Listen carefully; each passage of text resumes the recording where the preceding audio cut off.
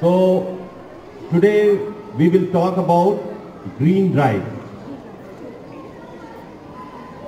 First of all, one question arises, why स्वच्छता साफ़ सफ़ाई की ज़रूरत क्यों है? और उसके साथ ग्रीन होने की ज़रूरत क्यों है? क्यों चारों तरफ़ हरितिमा होने की ज़रूरत है? ज़रूरत है या नहीं? पहले ये बताओ हाँ या नहीं? अगर ज़रूरत है तो फिर हम लोगों को कुछ करना होगा। हमें सब अपने अपने जगह से कुछ करना होगा ताकि हम विश्व का जो भविष्य है उसको बदल सके। आज आप देखेंगे बड़े बड़े शहरों में पॉल्यूशन के कारण बच्चे कितने तरह के रोगों से प्रभावित हो रहे हैं।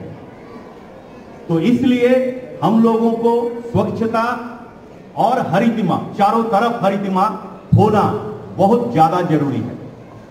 मैं ज़्यादा बात नहीं करना चाहता हूँ। मैं जस्ट एक चीज़ जानना चाहता हूँ, क्या बच्चे इसमें कुछ कंट्रीब्यूट कर सकते हैं? सहयोग कर सकते हैं? हाँ या नहीं? कैसे कर सकते हैं? कोई एक जन, कैसे कर सकते हैं? आपका इन्वॉल्वमेंट नहीं होने से यह संभव नहीं है। आप अगर चुपचाप रहेंगे तो प्रोग्राम पर प्रोग्राम होते रहेगा, किंतु कोई देश का कहीं से उन्नति संभव नहीं है। गाते हैं। प्लास्टिक का कवर अल्टीमेटली इन्वायरमेंट के लिए कॉपी में प्लास्टिक कॉपी या किताब में प्ला, प्लास्टिक का कवर लगाते हैं।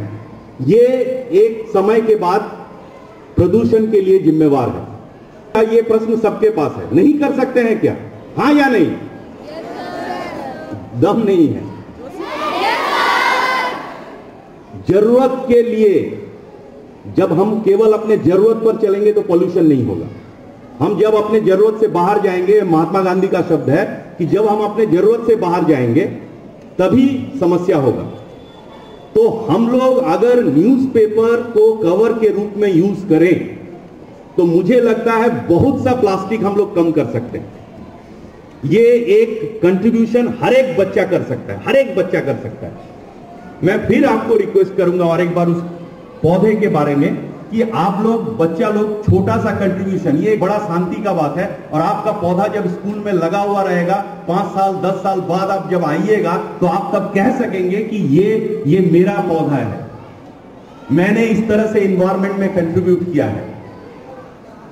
तो इस तरह से बहुत सारे छोटे छोटे चीज़ हैं जो हम लोग कर सकते हैं। एक और दूसरा इश्यू हम डस्टबिन के बारे में बताना चाहते हैं। आप में से कितनों को पता है मुझे पता नहीं पर मैं एक बार चेक करता हूँ। ये जो इसमें किस तरह का सामान डाला जाना है? बायोडिग्रेडेबल ओके तब मैं एक छोटा सा क्वेश्चन करता हूँ। सब्ज़ी का छिलका बायोडिग्रेडेबल है ना नॉन बायोडिग्रेडेबल वेरी गुड अच्छा आपका टिफ़िन का जो बचा हुआ अंश बायोडिग्रेडेबल है ना नॉन बायोडिग्रेडेबल प्लास्टिक एल्युमिनियम का रैपर रुकिए, अब मेरा क्वेश्चन अलग है। नीला वाला में डालेंगे ना हरा वाला में डालेंगे? तो देखिए, आपका अवेयरनेस है थियोरिटिकल नॉलेज है, किंतु हम लोग रखने के बावजूद भी डस्टबिन हम लोग इस जगह में सफल नहीं हो रहे, हम लोग को सफल होना है, आपको कंट्रीब्यूट करना है। और मैंने इको क्लब जो नेचर क्लब है, उसके लिए वॉलेंटियर्स घुमाए थे।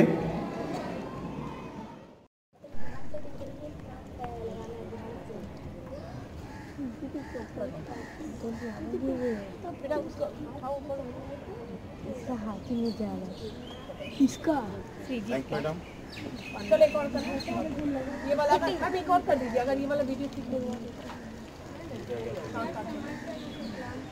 नहीं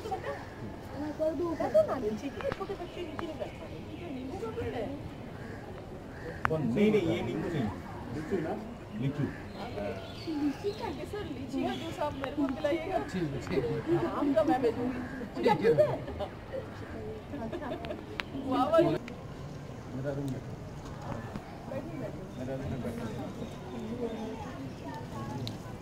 জল